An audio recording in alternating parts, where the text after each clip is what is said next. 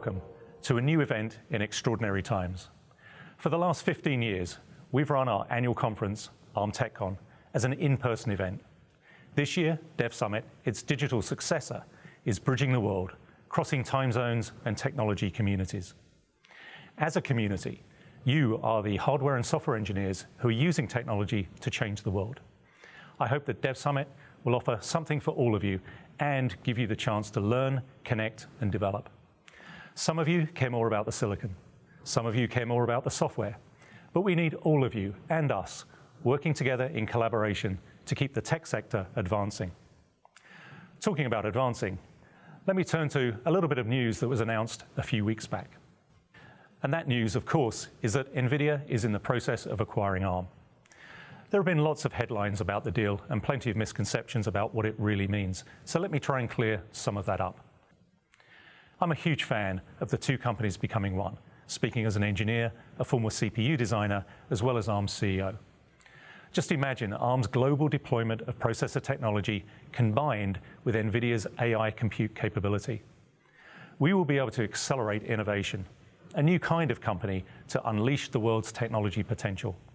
Importantly, it will also create an even more powerful platform on which you can build and realize your ideas. As we all know, it's ideas that fuel our world. One study concluded that each one of us has around 2,500 original ideas every day. Yet, how many of those brilliant notions ever become something real? In reality, not too many. But what I do know is that some of the best ideas in our world have come from this community. You are solving all sorts of problems, and it's inspiring to see how many of you have stepped up to the challenge of the current pandemic and applied your creativity. One particular acute challenge uh, that one of our developer partners took on recently was COVID 19 virus testing.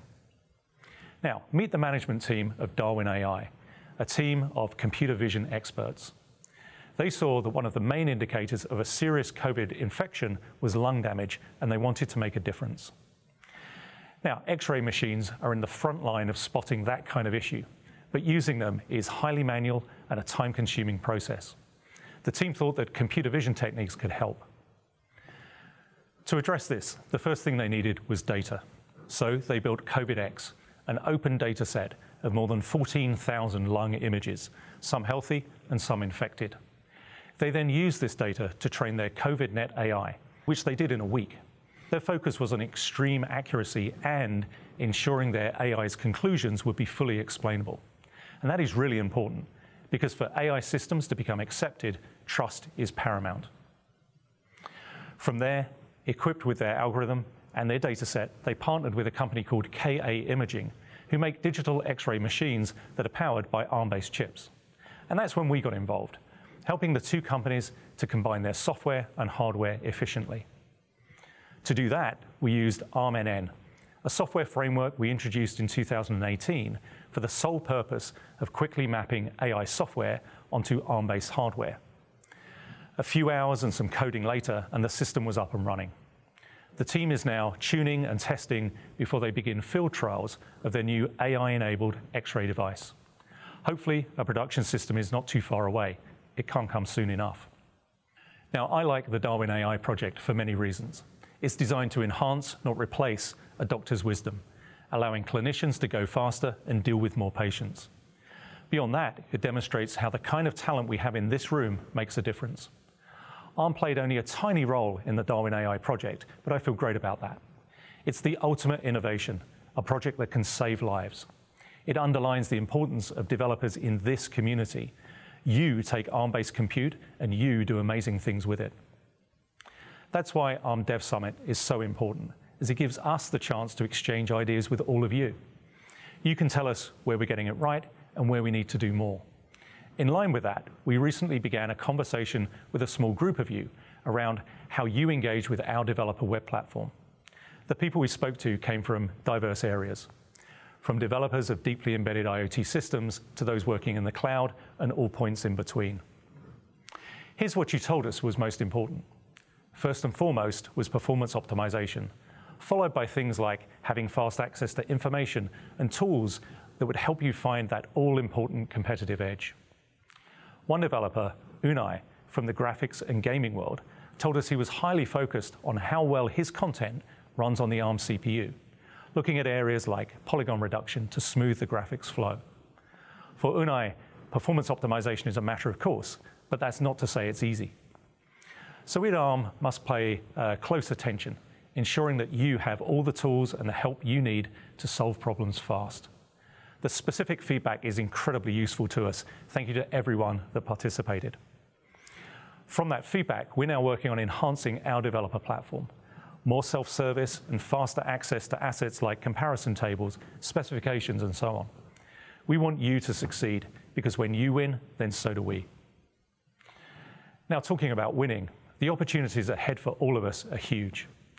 The fifth wave of computing is the way I describe the confluence of AI, IoT, and 5G, technologies that are maturing together and which, alongside a seamless developer environment, can quite literally change the world. Let me give you some examples of the impact this AI-enhanced cyber infrastructure is having. AI thrives on data, and we're seeing new data pipelines being created by connected machines. Drones, for example, are now routinely used to gather information in emergency situations. This footage was taken during the recent California wildfires as fire teams battled to save forest land and protect people and their homes. Unfortunately, wildfires have become an annual occurrence for those of us living in California. This was the view from my house just a few weeks ago. Smoke had turned the sky bright orange. It was surreal. For me, it is essential that technology helps the emergency services. Giving them an easy to deploy cyber data system will enable faster and more accurate decision making, saving lives, property, and the environment. One of the biggest use cases for cyber infrastructure, I believe, will be in cities. The device on the post shown here belongs to an AI-enabled IoT network called SAGE. SAGE is supported by a group of US universities and Argonne National Labs. The goal is to build a continent-spanning network of smart sensors. Interestingly, one use case is in the early detection of wildfire smoke plumes in California. But in Chicago, SAGE has been used to gather data on the impact of urbanization. But now it's doing something else too. It's assessing how local conditions might affect the spread of COVID-19. The SAGE sensors enable a map to be created so you can see where air pollution is the highest. It then overlays reported COVID infections. The idea is to learn more about the spread of the virus, for example, by looking at the impact of heat and air quality on how it moves from person to person. SAGE projects are now springing up in other major, major cities around the world. A global cyber infrastructure like SAGE, monitoring the state of our environment, should be a part of all our tomorrows because of the good it can do. I absolutely believe in this future, and 5G will enhance our opportunities even further. Building on that, with all the factors I see in play now, I think we're moving into a period of accelerated innovation. Acceleration is something that was well understood by the engineers who built this 57-story skyscraper in just 19 days. They were able to move fast as they were using high-quality, standardized components they could trust. That's not too dissimilar to the ARM business model, where you, our partners, use our technology as a base on which to design something unique and then get to market quickly. But speed alone isn't everything you've also got to build on firm foundations. And that takes me to three principles that underline uh, ARM's technology philosophy power, platform, and pervasiveness. First, power, or rather, low power. A vast cyber infrastructure brings many benefits, but unless we work at it, it will strain the world's power budget. So ARM's first instinct is always to improve power efficiency. It doesn't matter whether we're focused on ultra-high performance, like the ARM-based Fugaku supercomputer, the world's fastest supercomputer, or the most energy-efficient microcontroller cores being built into tiny chips that are just a few millimeters across and are being deployed everywhere. Whatever the application, our focus is always on how far we can push the amount of work we get done per unit of energy. And here's something we're working on that I think can raise the bar even further. Trifid is straight out of ARM's research labs. It's an experimental core now taped out in 28 nanometer, and it's at the extreme end of ultra low power. We think Trifid will appear first in the logistics sector, monitoring things like food shipments. The Trifid core is so efficient that it can be powered by a single flash from an RFID reader. Any data gathered would be stored and processed on chip using non-volatile memory, which is resilient to power outages. Trifid could be monitoring how much light or heat or humidity products, products are exposed to during their journey, thereby enhancing food quality and food safety. But Trifid could also have uses way beyond shipping food, and I bet many of you are already dreaming some up right now. Following on from power, I must talk about platform. Like the superfast skyscraper engineers I showed, you all want ready access to the right components, tools, and information. That comes from a platform-based approach. And that takes me to some news I'd like to share. We're launching a new platform enhancement called ARM System Ready. It's been designed to deliver a level of consistency across a broad range of ARM-based devices, preventing wheel reinvention and enabling faster and easier software deployment from the cloud all the way to the endpoint. System Ready is well endorsed, as you can see, and dozens of ARM partners are already engaging with it. The headline benefit is that System Ready will allow a huge variety of software to just work seamlessly on ARM. We'll achieve that by tackling the common components of the software stack, elements like the operating system, the hypervisor, and middleware components.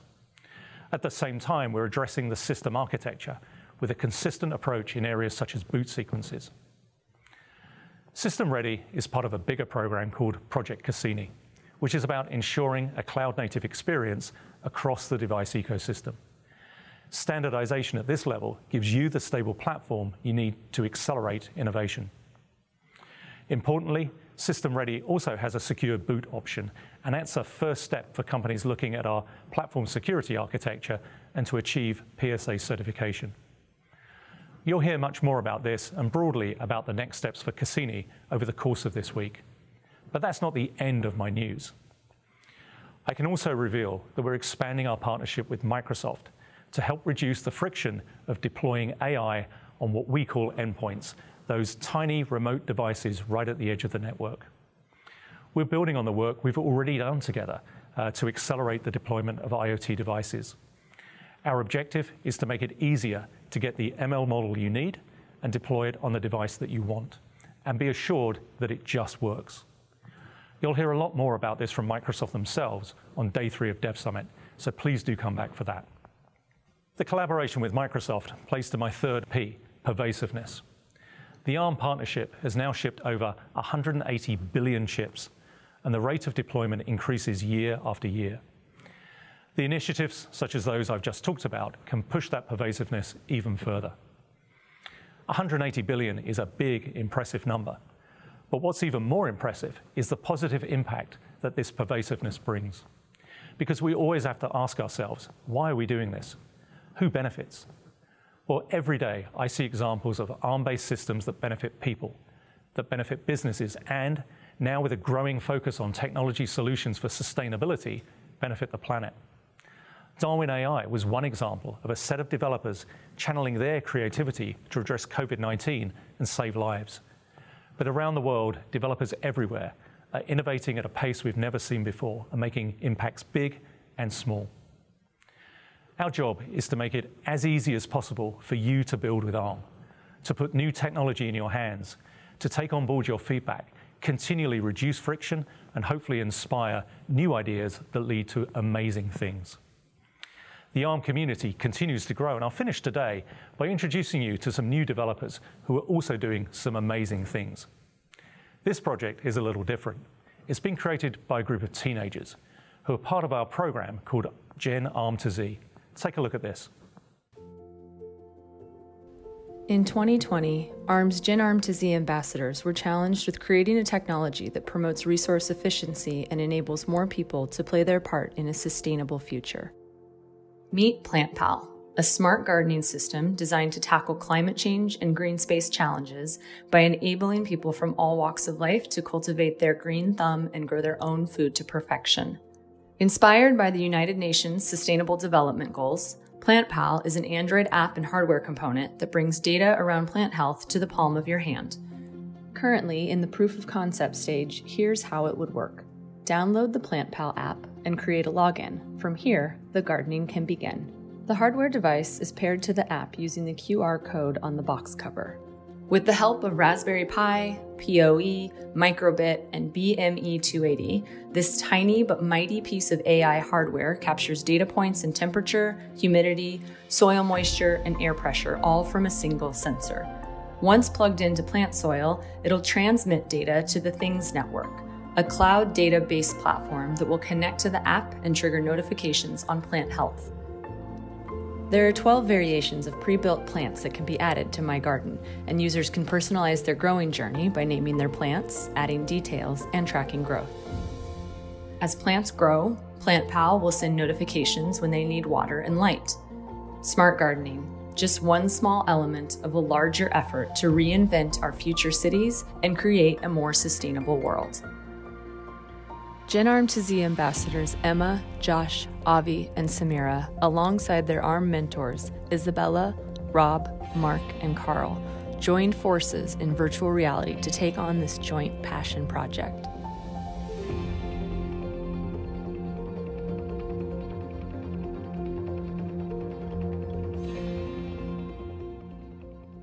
Now, I'm not much of a gardener, but even I can see the value in that idea. It's also very cool that they did it in their spare time. That's in between running their own tech companies, I'm not exaggerating, and going to school. So if you're worrying about where the next round of competition might come from for your business, well, you might have just seen it. And if you want to see a little more from them, and I recommend it, then a few of our Gen2Z ambassadors are running a panel session on Thursday. So that just leaves me to say thank you. Thank you for joining us, and thank you so much for your partnership. I do hope you enjoy the rest of Dev Summit.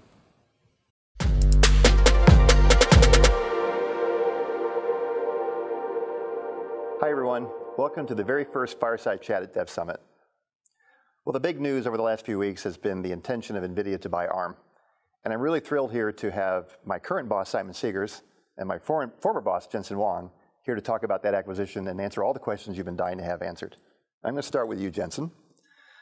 So while most of the ARM ecosystem is watching here today, has likely knows about this news, it would be great for them to hear from you directly why you made this decision. Why did you decide to buy ARM? Why now?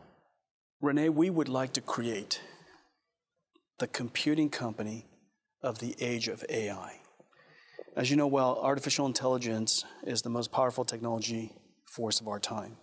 For the very first time, a computer writes, can run software that writes software by itself write software that no humans can and achieve results that are quite spectacular. And so, what we'd like to do is to unite the world leader in AI computing and the most popular CPU company in the history of computing. And by doing so, uh, we're going to be able to, to bring our capability to the ARM ecosystem. And ARM will be able to give our accelerated computing, AI computing reach like uh, not, not, you know, never, never before. And, and uh, together we'll be able to create solutions uh, that, that are going to be great for customers, whether they're in the cloud or in the edge or autonomous machines and robotics or uh, personal computing. We'll be able to create technologies and platforms that helps everybody grow. And so I think, I think everybody's going to be super excited about this. It's a great answer, and I'm glad to be asking the questions and not being questioned uh, today, so it's kind of fun. So, so Simon, hold that thought. you mentioned in your keynote the importance of hardware and software running together efficiently to enable the technological announcements, advancements of the future. How do you see our two companies working together to be able to contribute to that? Well, yeah, this uh, computing uh, computers are useless without the software that runs on them, and we're envisaging a world where there is just so much more pervasive computing than there is today. That that computing platform changing to being one uh, largely CPU driven, um, regular code, procedural code, to a world of AI where software is writing software, software is checking software, software is learning uh, from data. And that is just a completely different programming, programming paradigm. So the hardware and the software are going to come together in different ways. And I think between us, putting the strengths of the companies together, we're going to be able to address that. We're going to be able to put uh, tools into the hands of developers so that they can take all this great compute hardware and create amazing products from it the hardware without, uh, without the software is useless. So we've got to make it really easy for those two things to come together. That's a great, great answer. A lot of folks have really loved the potential combination of the two companies technically. But Jensen, you know, there's been a lot of questions about ARM's business model, and we've talked to a lot of partners who have questions about what are the intentions for NVIDIA to continue that business model going forward, the ARM business model specifically? I love ARM's business model. As you know, I think the genius of ARM was the invention of this super energy efficient CPU architecture combined with this business model of licensing and having the, the wisdom of creating this vast ecosystem of uh, computer makers and chip makers in just about every industry on the planet. That, that vision took three decades to realize. And I love that. I love the, I love the idea. I love the business model. I love the ecosystem that's been built. And so, so uh, I, we have every intentions of protecting it, nurturing it, and growing this, this business model. And in fact, uh, I want to add more to the business model. You know, one of the things that I really value about ARM is this network of partners and the ability of ARM to uh, take what is very difficult designs and turn it into soft IP products that people could use. And it's something that I've always wished that we could do, and uh, to take the NVIDIA architecture and to put it through an ARMS network so that uh, companies of all different sizes and shapes and, and different industries could take advantage of our IP uh, and uh, uh, allow us to extend the uh, accelerated computing vision we have to all the industries. And so I'm, I'm super excited about the. There's a follow up on that. Another, another question that we've been getting a lot has been about the fact that you know, ARM builds GPUs, we build NPUs. everyone knows NVIDIA's GPUs are, are, are world class. How does the acquisition affect what ARM's doing in those product areas? We're going to keep doing it. You know, we, uh, we want to give customers as many, as many choices as possible. Uh, every customer is not trying to build the same type of system. And um, uh, some of the customers would probably want to design their own. And so we, we want to give the, the customers in the market as many opportunities to innovate and differentiate as possible. So, okay. so uh, we're going to continue to, uh, to continue to advance it. So I'm going to keep keep with Jensen here. It's a rare opportunity that I can continue to ask you questions without you having to come back and ask me some. So I'm going to continue here. The, the, the I feel handcuffed.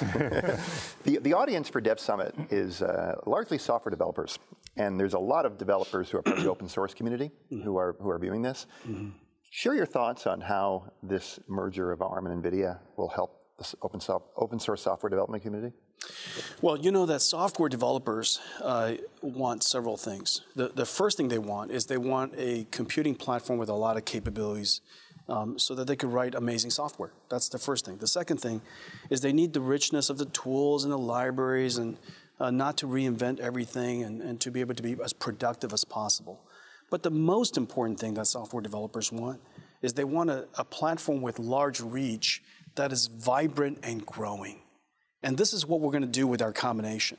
We're going to combine two of the most vibrant, most exciting computing ecosystems in the world. The largest one, of course, ARM's ecosystem, and the one that is developing very quickly uh, with artificial intelligence, with NVIDIA's platform. And so we're going to be able to bring the NVIDIA developers to the reach of the ARM ecosystem and we're going to add to the ARM ecosystem this exciting new capability called accelerated computing and AI. And so the developers are going to love it. That's, that's ultimately you know, what they wish to have is a, a great platform with rich tools, um, but most importantly, that it has to be vibrant and rich and growing. Yep, that's a great answer. And, and Simon, I want to follow up on that. Um, we've obviously done a lot with open source as well, mm-hmm. uh, and also with Linaro, and questions that developers might have in terms of A, our continued commitment to open source, and what might, if anything, change with, uh, with Linaro going forward? Yeah, L- Linaro has been a, a really important um, a component of the overall ARM development uh, story. Um, we formed it at a time when um, open source software was starting to find its way into embedded systems. And I can remember going to talk to our partners, and they'd say, Hey, we've just invested all this time optimizing the latest Linux kernel uh, to the ARM architecture, and having that same conversation like uh, every day for a week.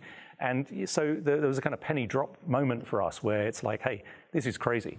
We should leverage the glory of, of the ARM partnership and pool our resources to do this well um, and provide some of the key components of open source out to the community because that accelerates innovation.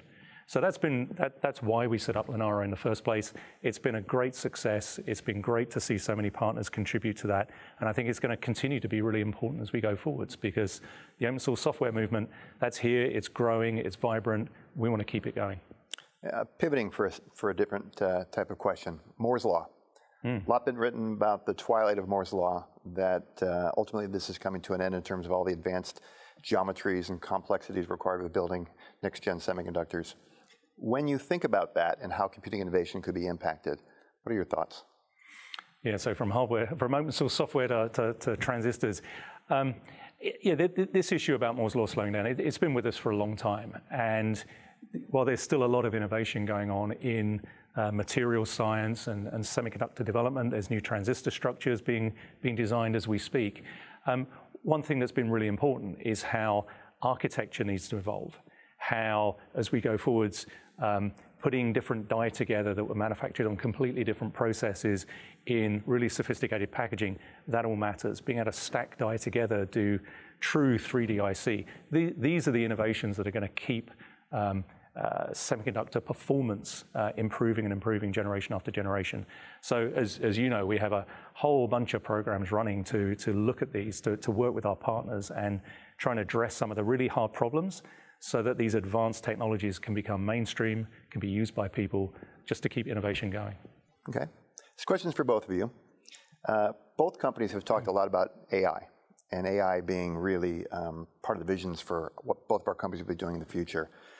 Now thinking about a combined ARM NVIDIA, um, how does that change at all? I'll start with you, Jensen, relative to how you think about AI in a combined ARM NVIDIA world.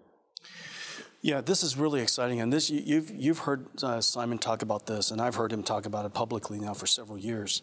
Uh, we we know that there's a there's a whole new world of computing that's about to happen. Some people call it edge, some people call it IoT.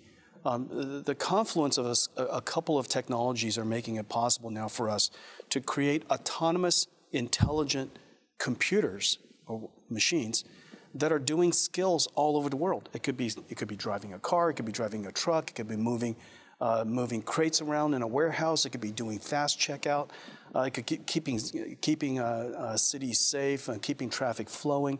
It's almost as if the, the city is smart. It's almost as if the warehouse is smart. It's almost as if the retail store is smart.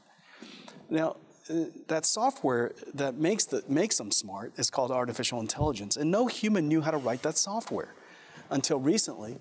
Uh, we've now made it possible for us to create computers, develop softwares that write the software. Now that the software is ready, now that the software is possible, we realized that, that we're reminded of the fact that we're computer engineers and computer science enables enables new markets, but it's up to the software developers that create the growth. Well, for the very first time, the engine of that growth is going to come from a piece of software written by a machine. Well, machines are going to be machines can write software a lot faster than we can, and we now know that the machines can write software that we know we can't write. And so, for the very first time, it's now possible to imagine a world where we're creating these autonomous systems and computers all over the world. Uh, it's helping uh, helping society do all perform all kinds of tasks. The software is being written by another computer, and so the expansion of computing over the next decade is going to be far far greater than the expansion of computing over the last decade. That's the exciting part. That's the reason why the combination makes so much sense. NVIDIA has deep artificial intelligence capability. We know how to write the software of artificial intelligence. Uh, no computing platform has the reach of ARM ever created. And so the combination, I think, is just incredibly powerful that way. Simon? Yeah, I think it's about delivering on that vision. when you think about it, AI has kind of grown up with huge data sets running in the cloud. Uh, we've been um, enabling um, uh, endpoints and, and, client devices um, if you try and um, take all the data from the edge of the network and you put it in the cloud and you do something with it and you send an answer back, that is massively inefficient. So computing and, and AI computing has got to go to where the data is. Uh, and, and that's what I think we've got an even greater chance on, on of delivering on um, through the combination. Worrying about where the data lives, how we run and manage the software, where the compute is. Um, it's going to be a vast network of computers in the future, and we can deliver on that. So Jensen, somewhat coincidentally, mm-hmm. uh, GTC is the same week as Dev Summit. Uh, you have made an interesting ARM announcement during GTC. Tell us a bit more. Yeah, I was going to make an announcement at my show, and, then and then and then uh, uh, and it was a big announcement. You know, we've been working on it all year, and and then Simon said, "Hey, why don't you come to my show?" and and I said, "All right." And so so uh, uh at Dev Summit, we're going to announce um, a, a, very big deal. So so last year, uh, we uh, we put the the first first stake in the ground to bring NVIDIA's computing to ARM and, and it's called CUDA on CUDA, NVIDIA's accelerated computing architecture to ARM. And, and uh, that's a big commitment, and the reason for that is because, as you know, um, once you support software, you can't stop. That's the reason why computing platform companies uh, that understand that, that, that consistency, neutrality, trust uh, uh as part of a computing platform is so vital once you decide to make a commitment to an ecosystem, you can't take it back.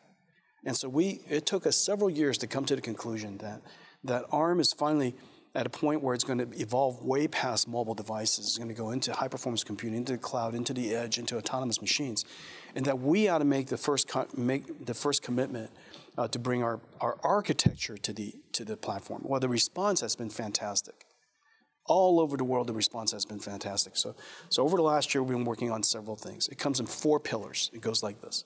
The first pillar of it is that NVIDIA is going to bring um, both our GPU as well as our DPU, or our networking uh, uh, uh, processors, and all of the system software and all the acceleration layers and all the acceleration stacks to ARM.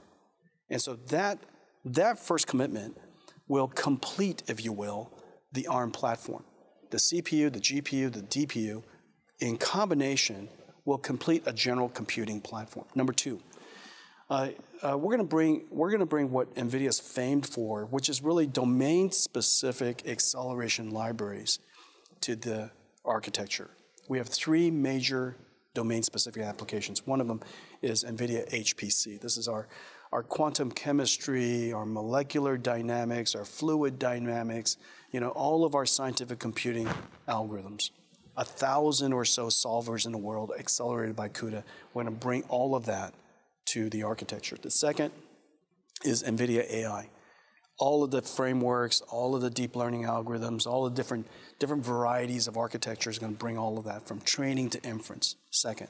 And the third uh, we're going to bring NVIDIA data analytics called NVIDIA Rapids, our data analytics data science platform. So that, that's the second pillar, all of our acceleration libraries. The third pillar is going to do so in all four of the major computing platforms. High performance computing, which is a distributed multi-GPU, multi-node. Cloud computing, which is a disaggregated, composable, container, um, uh, microservices architecture. To the edge, which is essentially a secure autonomous data center on, on uh, in, in, a node. Uh, so the edge, robotics, and then lastly, uh, personal computing, which includes all of our graphics and all of our imaging, all of our, okay, so these four platforms we're going to support. And we have, we have all of them running in, at, NVIDIA. And then the last, the last pillar is uh, the ecosystem. Uh, we, uh, we've selected three partners as a starting point. first is um, Fujitsu with their A64FX uh, CPU, which is doing fantastic in, in, in uh, supercomputing. And it just kind of shows you the range of the, of the ARM architecture from embedded controllers, which is tens of milliwatts, to the fastest supercomputer on the planet. Mm-hmm. That kind of tells you uh, the, the power of this architecture during a time when Moore's laws ended. There's nothing left to squeeze out of the system through physics, and so the only way to, only way to do it is through architecture.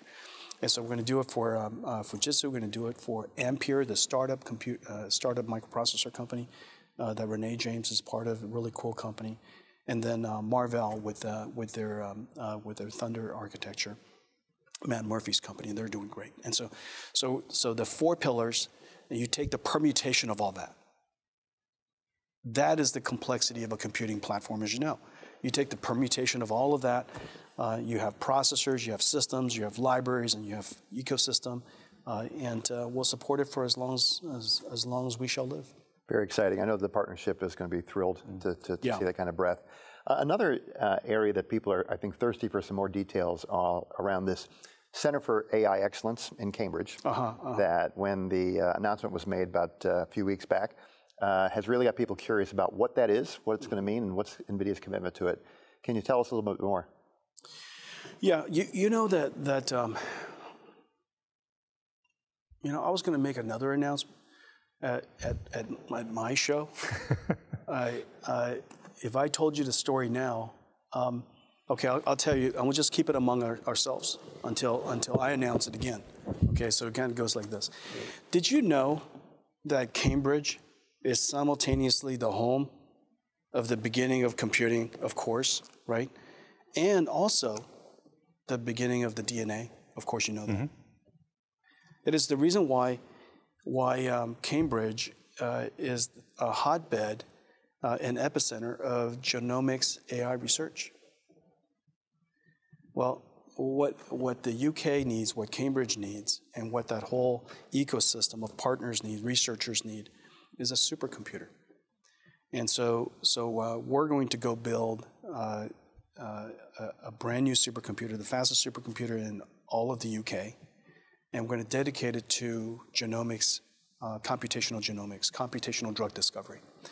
And we have five founding partners, uh, including ARM. Uh, the, the five founding partners are uh, GSK, uh, AstraZeneca, King's College, the UK Biobank, Informatics Bank, Oxford Nanopore, a genomics company. And so these four, five companies are going to join us to, uh, to develop this um, new AI system. we've created a brand new uh, computational drug discovery stack. Uh, the, the, the, the, mathematics, uh, the algorithms, incredibly complex, and uh, uh, the suite of software uh, that we're going to bring to bear is, is really, really exciting. And so we're going to have a computer, we're going to have all kinds of tools, just like EDA tools and you know AI tools that are used for drug discovery, and, um, and a bunch of partners to help us. You know, Super exciting. Yeah. Last question, going to take it away from the area of uh, drug research, genomics, AI, and talk about the, the deal at hand. A lot of questions that we've got from folks just relative to the regulatory process and how you both view uh, what that's going to be like and your confidence level that ultimately this, uh, this acquisition will be approved. And I'll start with you, Jensen, and, and have you wrap oh, up. Let's have start with Simon. I'm just kidding. Since you wrote the check, we'll start with Jensen. that it's true. It's true. Somebody somebody said to me the other day that, that you paid an arm and a leg. Yeah. I thought it was clever. Uh, but true, but, wasn't, but wasn't, true. It wasn't true, our clever. PR department. Yeah, clever, clever and true, uh, but worth every penny and more. Uh, uh, I, I, am confident. We are confident that it's going to go through, and the and the reason the reason for that is because uh, as soon as soon as we explain uh, the rationale of, of the transaction um, and and our plans, uh, the regulators around the world will realize that these are two complementary companies. You know, a lot of companies they, they just know they're two technology companies coming together. They don't really understand what it is that we do, and and so so the first thing is to explain what we do, where we belong in the ecosystem. Uh, people realize that we're a complementary company. The two companies being complementary, when combined, uh, will create new innovations, which is good for the market. It drives innovation forward. It's good for customers. Uh, and when they when they realize that that uh, we love the business model, we're going to protect the business model. We're going to create, uh, continue to nurture this this this this neutral, um, uh, committed, consistent, trusted uh, platform so that so that uh, our ecosystem can continue to flourish and even grow. Um, I, I, think when people realize that, uh, they, they're gonna they're gonna be really quite quite excited about it. This is a deal that's about expanding. It's about creating new, more and new technology. It's about putting that technology in the hands of people who are going to build really cool stuff with it. Um, so from that point of view, this is about uh, enabling more people to do more things. So that, that's a positive thing that as regulators do scrutinize this, they're, they're going to be able to see. Now, I'm sure it's going to take a while. Um, you when you look at the, the breadth and the position that both companies play in the industry, it's, it's the right thing that regulators apply a lot of scrutiny. They look at what we're doing, everybody gets comfortable. So there's a process to go through. It's, uh, it's absolutely the right thing that the process is done really thoroughly. But I think we're going to get to the end of that. Everyone's going to realize that this is a good thing for expanding um, and that we'll get approval.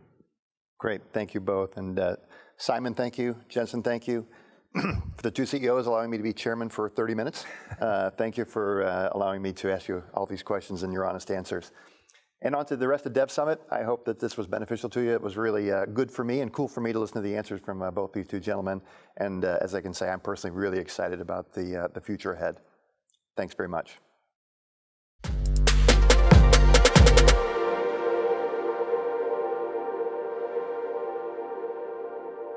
Hi, I'm Mark and I lead the open source software team. Today, I'd like to talk to you about software in the ARM ecosystem, how things have changed over the years, and where I see things going. Spoiler alert, ARM technology is everywhere.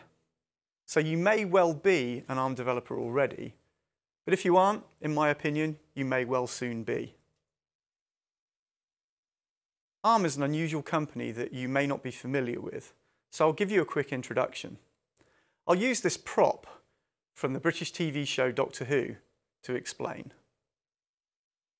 The TARDIS is the time travel machine used in all the stories. On the outside, it looks like a fairly unassuming police box from 1960s Britain. On the inside, it's a futuristic palace that seems to expand in all directions. The strange thing is, it's bigger on the inside than it is on the outside. To me, ARM feels like an inverse TARDIS. Looking from the outside, ARM looks massive, touching every corner of the computing universe. 95% of the world's phones, 90% of the wearables, etc., etc. But then you look inside, we've a total of around 6,500 employees, and a large portion are dedicated to R&D. That's not a lot of people when you consider our reach. Our success has come from building partnerships and contributing to ecosystems. Together, this enables us to become larger than the sum of our parts. Being an ARM developer, let alone being an ARM employee, kind of crept up on me. In my early career, I worked across the embedded space, building systems from wind tunnels to broadband networking. The one common challenge was getting that base software up and running and keeping it stable. A wide variety of CPUs meant a wide variety of tools and source trees. Everything was a one-off project. Varying quality BSPs proliferated on different versions of different OSs. Once the product was delivered, it went on the shelf and you moved on to the next thing. As smartphones started to emerge, I joined Symbian. At that point, everything I worked on became ARM-based.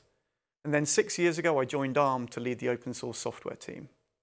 Mobile devices have become the primary portal to the internet, a large part of the way we socialize and a popular gaming platform. It's really become the personal computer. If you want to be where new technology and applications are being created, you have to be developing for ARM. And now IoT is taking off. ARM development is ramping up in automotive and equipment companies. Even white goods manufacturers now have ARM developers.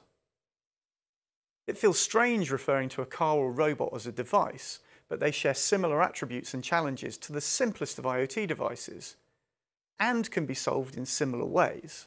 You're also seeing cloud and high-performance compute gravitate towards ARM. Cloud native is eroding barriers for moving applications between architectures. In essence, everything that's cloud native should just work on ARM. And with edge computing, you've the merge of infrastructure and IoT technologies where the natural diversity of the ARM ecosystem presents the ideal set of solutions in my view. This brings me to the final frontier. Yes, the PC. Ironically, ARM started in PCs. We were part of Acorn, once one of the UK's premier vendors. As kids in the 1980s, my brother and I loved our BBC Model B. There are some great ARM-based PCs already out there focused on the consumer space. I've got a couple of them that I use every day that run Windows or Chrome OS. Developers, though, need a different configuration. Fast CPUs, 16 gigabytes of RAM, 512 gigabytes of fast storage. Bigger screens and standard keyboards you can use for prolonged periods of time that will run Windows or Linux or both. But why do we care about ARM-based PCs for developers? Well, because that's where you do your magic. it would be much easier for everyone if you could write software for ARM on an ARM system and debug ARM code on an ARM machine. All I can say is we're working on it, and I believe the world needs an ARM developer spec machine, and it's my personal goal to make this happen. The good news is that you're not alone. Our largest partners have several thousand developers, each dedicated to developing for ARM. There could be a couple of hundred thousand engineers in this space alone. Then there are the large software franchises that predominantly develop for ARM. Then, as Evans Data Group estimates, there are 24 million developers in the world and 13 million identified as mobile developers, which is mostly ARM-based.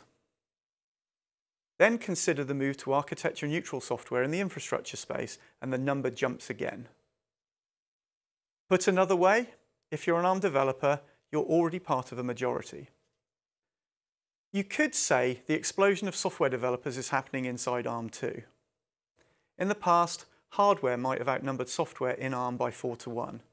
Now it's closer to 1 to 1.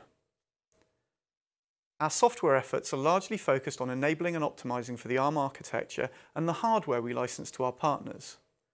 We work in the most widely used software components and enable the developer ecosystem with IDEs, models, compilers and debuggers. You'll see a substantial software optimization effort also for total compute. Here we're shifting from concentrating on absolute performance to focusing on optimizing behaviors for specific use cases.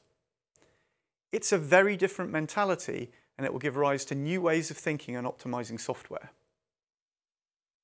We're also working hard on compatibility. Our vision is for software that just works seamlessly across a vibrant and diverse ecosystem of hardware. That means more work in the firmware space, more work in OSs, containers, hypervisor, and further up the stack.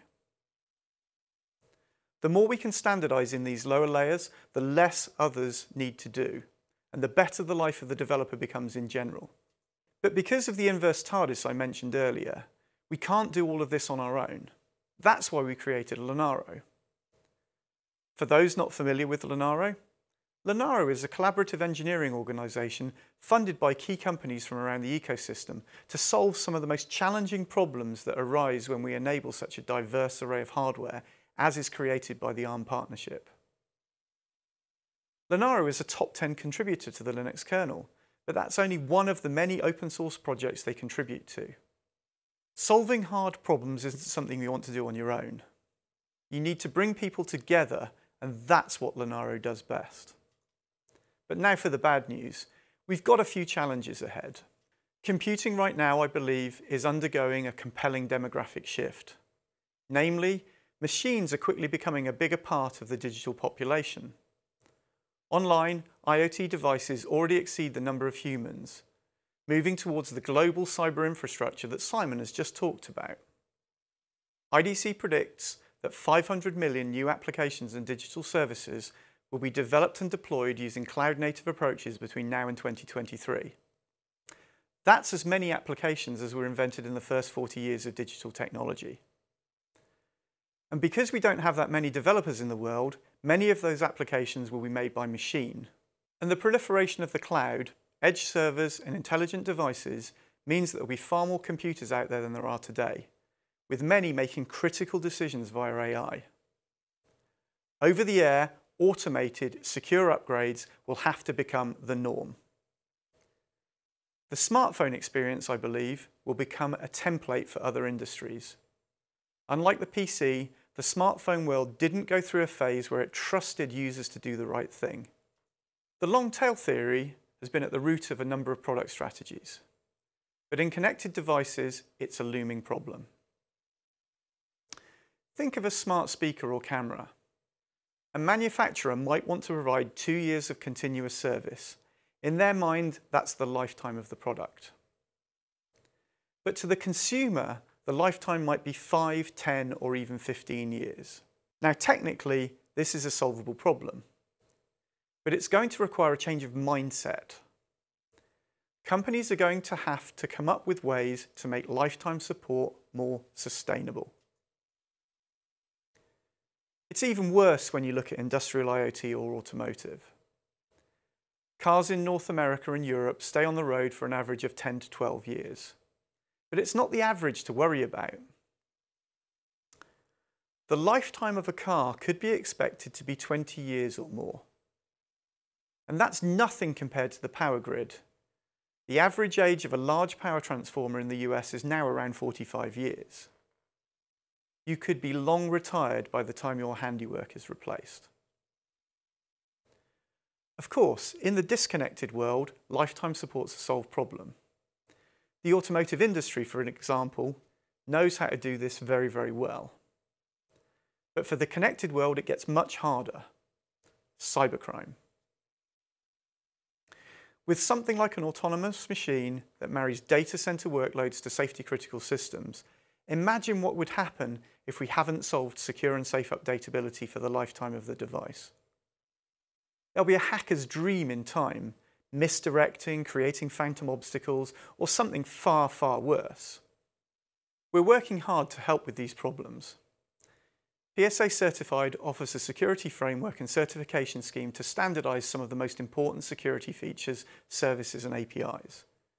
PSA Certified started out addressing the constrained IoT space, but we're now working with the ecosystem to extend it to the other connected segments we operate in. System Ready is complementary to PSA Certified, focusing on device design and compatibility, giving you and your customers a blueprint for a platform on which you can easily land your applications. Both PSA certified and system ready are also pillars of Project Cassini, a library of sorts for building compatible edge devices. We're also delivering support for the hardware that ARM develops into the upstreams where they're needed, like the Linux kernel or trustedfirmware.org projects, among many others. These things together should greatly reduce the amount of low-level bespoke code required to build that base of any system, which over time, the lifetime of the device, should reduce the cost of ownership substantially if you adopt them. As a call to action, what do we need you to do? First, engage with the standards and work out how you'll adopt them. Second, consider the nature of lifetime commitment you're going to be making with your products and how you'll update them for the consumer's lifetime expectations. But don't just consider the device, think about how that device will be managed. Third, Look at what technologies add value to your products and which should be handled by common frameworks. And get as much non-differentiated code either from the upstream or contribute it there so you're able to move to newer versions of software at a lower cost. This isn't all solved yet. Some of these issues will require technical breakthroughs, but others will require a change of approach from us as developers you're going to need to think about lifetime support and how that fits with your commercial model for your product. Best to factor that in from the start. So please consider how you'll do this and what ARM can do to help. Hardware and software have always had an edgy relationship. Software developers may joke that hardware without software is just expensive sand. The real value, what everybody wants, is the content that's embodied in the software. Hardware engineers will reply that software on its own is the greatest movie you'll never see. Without hardware to play it back, you're just sitting in the dark. Of course, both sides are right and wrong at the same time. Software and hardware are inextricably bound together. And when you bring the two together in the right way, the results can be magical. Most of us likely went into technology because of a product or invention that left us absolutely speechless as a child. And to me, that's why being part of the ARM ecosystem is so exciting. I do hope you share some of this feeling with me. Although Dev Summit's a virtual conference, there's plenty to explore. So please check out the technical sessions, the keynotes and the pavilions. We're at the first stages of the next generation of technology. And my hope is that by collaborating and sharing at events like this, we can come up with those breakthrough ideas that one day leave others speechless. Thank you.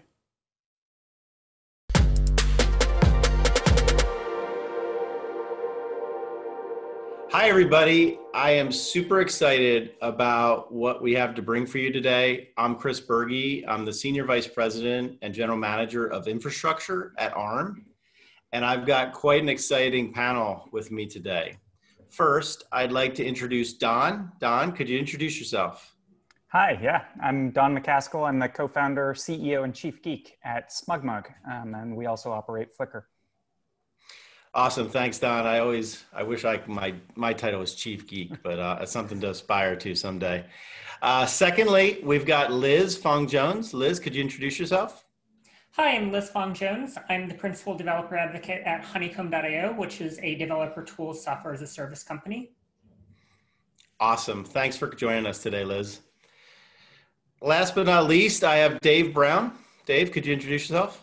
Hey, Chris. So I'm Dave. Um, I'm the vice president of Amazon EC2 um, over here at Amazon Web Services. Amazon EC2. I think I might have heard of that. Yeah. Anyway, th- thanks everybody for joining us. And uh, what we wanted to have here is uh, an open roundtable. We're going to be kind of discussing about uh, moving to the cloud and obviously ARM in the cloud and some of the impacts. So I'm going to start it out with Dave. And Dave, can you tell me about why is AWS building ARM-based CPUs such as Graviton 2? Our journey with ARM actually started um, back in 2012, 2013, when we started to look at ways of improving performance um, across EC2 by offloading a lot of the functionality that we traditionally ran on the underlying server to actually an ARM chip running on an offload card. And so since 2012, we've been moving more and more of our system uh, system processing off to this offload card. And um, that was a project that ultimately culminated in what became known as the Nitro system. And today, AWS runs an enormous amount of application infrastructure on ARM, uh, sort of underneath all of the services. And so that ultimately got us thinking, uh, obviously, uh, you know, where ARM was going, the performance we were seeing from ARM, could, we could actually provide a, a server chip with an ARM core to our customers um, to use as, as an instance type on AWS. And so we launched our very first one um, back in 2018, which was known as our Graviton 1 CPU. Uh, we didn't have the one back then, which is called Graviton. Didn't need the version number. But then last year in 2019, we actually launched Graviton 2, um, which is our new ARM chip and just providing incredible performance for our customers. And so, from a price performance point of view, um, the ARM processor there's actually providing 40% benefit um, over other instance types uh, of the equivalent family um, within AWS today. And so it's really just focusing on let's continue to innovate um, in all the areas we can. And so it's been incredible to innovate together with the team at ARM um, down at the silicon level and actually building a chip that, that's suitable for you know, for the cloud and, and for the server for the server chip, um, and then be able to bring that value to our customer base. That's great. Thanks, Dave. Uh, Don, can you give me your perspective of, uh, you know, you obviously gave Graviton 1, I believe, and even Graviton 2 a whirl. Can you kind of give me a, a background of why would you take that step? Yeah, well, um, you know, we've been interested in um, ARM for servers for a long, long time. I remember we took our first sort of um, swing at the bat playing around with some SeaMicro um, servers using ARM. I think it was 2009, 2010 kind of timeframe. So uh, we've been acutely interested for a long time. And as soon as we found out that uh, AWS is going to be bringing Graviton to their offerings a couple of years ago, we got extremely excited um, because we've long believed we'd be able to deliver um, similar performance at, at massively reduced cost by leveraging ARM. So many of our of our compute workloads aren't really CPU bound. They're really bound um, by other things like memory bandwidth and network IO and, and storage IO and everything. And so we're essentially, we knew, we've known for years that we we're kind of overpaying for um, super premium compute that we're not actually maximizing. And uh, so we are really excited to um, just get something that was considerably lower cost that could still operate those workloads. Um, and then we were kind of pleasantly surprised that not only does it do those things, but it's also an incredible CPU. Like we thought we were going to have to sacrifice performance to, um, to drive value, and instead we got both. Pretty exciting. Don, that's pretty powerful to hear from you, your kind of customer experience there. Dave, what are what are your other customers telling you about Graviton 2? I mean, has it been a rocky road? What what kind of experience have they had? Actually, been really great feedback. You know, when we we we built the chip, we taped it out, we got our first few chips back. Um, we we ourselves were very impressed and very surprised at the performance. We knew it was going to be good.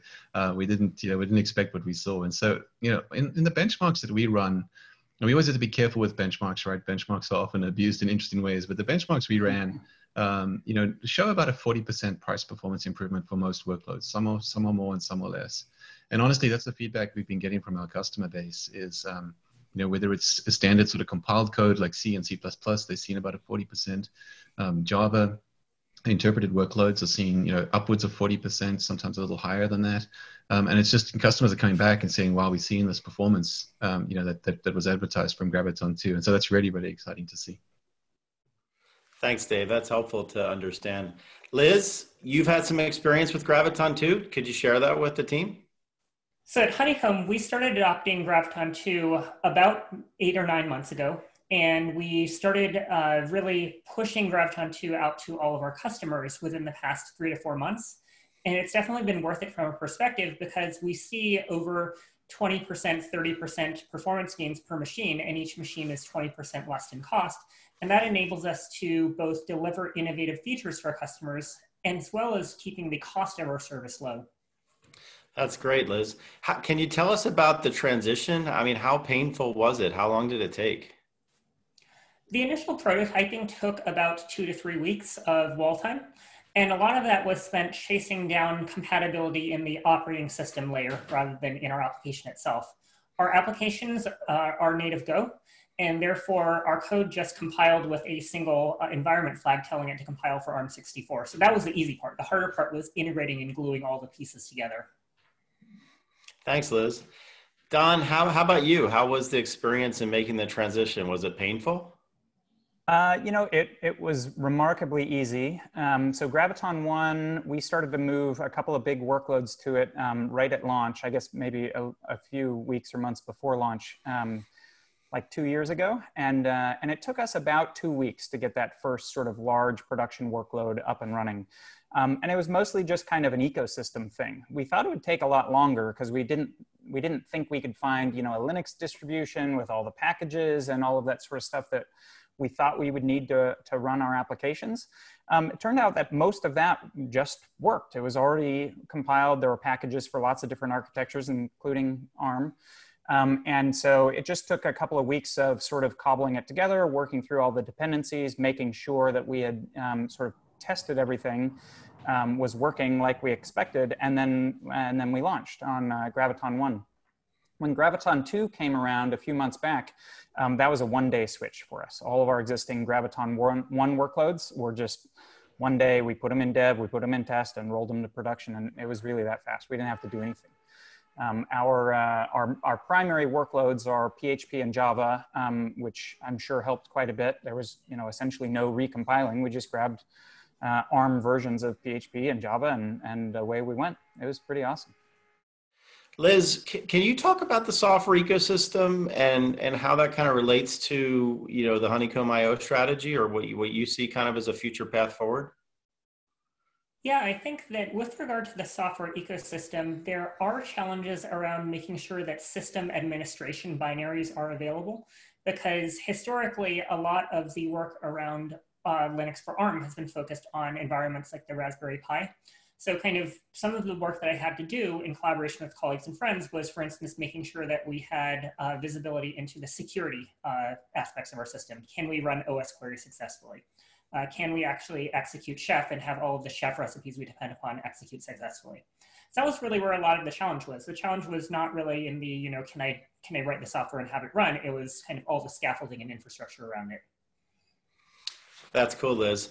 I gotta say, it's um, I, am a Twitter geek. To be honest with you, I'm totally addicted. And one of the fun things for me to track in you know every day is to wake up and see what new people are trying out Graviton 2 and what their experience was, and and now how they're kind of really helping that ecosystem flywheel. And uh, Dave, are you seeing that? Do you see the software ecosystem for ARM evolving, or what what, is, what are your customers telling you?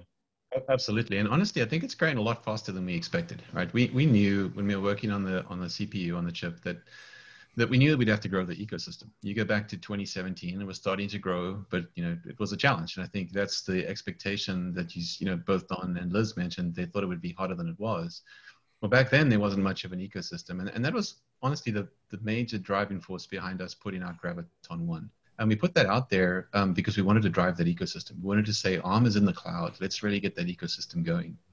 And what we saw in that first year was just incredible, right? Where from an operating system point of view, we saw all the large Linux distros um, be able to support support ARM um, on the container space, which is obviously critically important today. We saw a lot of the container runtimes being able to support ARM as well. Um, in the open source community, we saw a lot of the, the, kind of key packages that you know customers rely on and build into the applications move to support ARM. And so just across the ecosystem, you know, we just saw, we also saw a lot of the AWS services uh, take the opportunity back then to move and support ARM as well to make sure we were ready, whether it's an agent-based service or or another high-level service to be able to support customers. And what that meant is through 2018 and 2019, that ecosystem really grew quickly. And so by the time we put out Graviton 2 um, towards the end of 2019 and through the early part of 2020, um, with our very latest uh, uh, compute optimized instance, the ecosystem's there. And so, you know, in most of my conversations with customers, um, it's there's an expectation that it's going to be a lot more difficult than it actually is. And so, my advice to them is very often take one or two engineers, and go and tell them to build, you know, build this application for ARM. Go and take the Linux distro that's been compiled for ARM.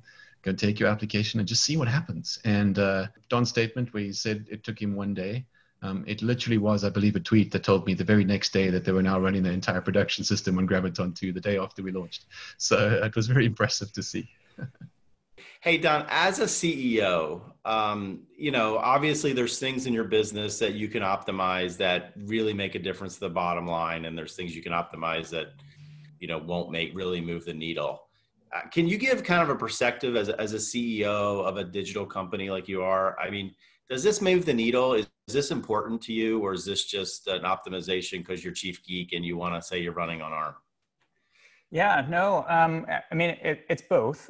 I'm, there's a reason I've been following sort of the ARM ecosystem so long because I am uh, geeky about it. But you know, it, it's not very often that a piece of technology comes around um, that that you're using at scale and you can just cut 40% of the cost right out of it. Like no negotiation, no contract, no commit, no term. Like you just recompile and you're saving 40%. Like that just doesn't happen. I, I can't remember the last time it's happened. Um, so, so it is both. I definitely awesome. echo that too. Um, what I definitely say is if you can give your startup that extra month of runway, or if you can deliver that breakout feature that is only possible because you're able to get compute that's twice as cheap as anywhere else, like you'd better do it because that's the health of your business at stake. That, that's exciting. Yeah, I, my my own personal experience is I actually had a call with one of the CIOs from one of the larger companies in Silicon Valley, and and you know I was kind of hoping for a nice technical exchange, and it, it wasn't. But I when I for introduced him to Graviton, I mean he was like this was the best meeting he had had all week, and I was like, well, wait, we didn't really talk about that much, but it just hit me like what a big change this was for them, and obviously you know, for CEOs, CFOs, CIOs, CTOs. I mean, cost in the cloud, it, it's awesome what Dave and, and the team at AWS are providing, but it's also like a credit card, right? You get the bill at the end of the month and and and you do want to keep keep your costs in check with the services you're providing. Don, what's your view of the the role, the future role of the ARM architecture and kind of the future of cloud? I mean, you you you mentioned you were, I think you were even one of the earlier AWS customers, if, if I'm not wrong. Um, where where does this go? I mean, you've clearly been on the you know early in on the cloud wave, and and where do you think things go from here? So we were a very early um, AWS customer. We we um, uh, were using it in production before it was even launched and announced um, with S3 in 2006. Um, and you know, I think one of the amazing things that um, particularly cloud computing has enabled is is um, lots and lots of um, highly customized heterogeneous compute, right? Um, we're running lots and lots of different clusters on lots of different instance types because we can really fine tune exactly what our CPU to memory ratio is or how big of a network interface we need or whether we need a GPU or, um, or other you know, customized hardware. Um, and so uh, I think one of the things I'm super excited about is um, AWS has continued to kind of roll out additional instance classes based on Graviton 2, right? They came out with sort of one class, but now there are many classes and they are, um, you know, going down that same road where now you can start to mix and match your, your um, memory and your, your storage and things. So I'm really excited to see more of that. Um, I want to see Graviton 2 paired with uh, GPUs and paired with um, giant NVMe storage and all kinds of things like that, which I have to imagine are are in the works because that's what AWS has been doing with EC2 for you know more than a decade is adding more and different and fine fine tunable um, parts. So pretty excited about what the future looks like where essentially you can get Graviton 2 paired with just about any other mix of of additional components you might need for a very specific compute workload from an instant point of view, I think you know, Liz, you mentioned kind of the startup view of getting additional runway. I mean, that that that tugs at my heartstrings. You know, doing a couple startups myself. But Dave, did I hear right that there's actually um, some instance types where people can actually try out Graviton two for free? Yes, Chris. Um, so, so we actually last week we actually launched our T4G, um, which is our oversubscribed instance um, that allows customers to try Graviton. Um, it's really it's our, our, lowest cost instance type um, and, and experience the Graviton performance. But more importantly, we actually launched um, a trial period with that as well. And so until the end of this year, customers are able to launch a Graviton instance and get 750 hours per month free on the T4G instance type. That's really wow. exciting to me, given that you just advocated, you know, hey, take a week or two, take an engineer or two, and just spin it up. Now people don't have to ask for permission to do it; they can just do it. Yes, and so much in the cloud actually happens that way, Liz. Right? It's just an engineer trying something on the side they're able to do, uh, and we see a lot of innovation, lots of great stories behind that. So excited to see what customers do. Liz, what else do you think that you know? What do you see as the longer term impact of ARM in the cloud, or um, you know, kind of the evolution of cloud? The thing that I'm really excited about is that Graviton 2 is Amazon's not necessarily saying this, but you know it's better price per compute, and that's also uh, watts per compute, right? So I think that all of us have to be really, really conscious of our carbon impact. And for me, part of what motivated me to explore Graviton 2 was the desire not just to save money, but to do better by the environment and to really empower people to do innovative things without hurting the planet quite as much. Well, I really appreciate you all being with us, and I really would like to thank Dave and Don and Liz for joining me. This has been a tremendously valuable learning experience for myself, and I'm and I believe for the larger ARM Dev Summit audience. But thank you all for being with us today.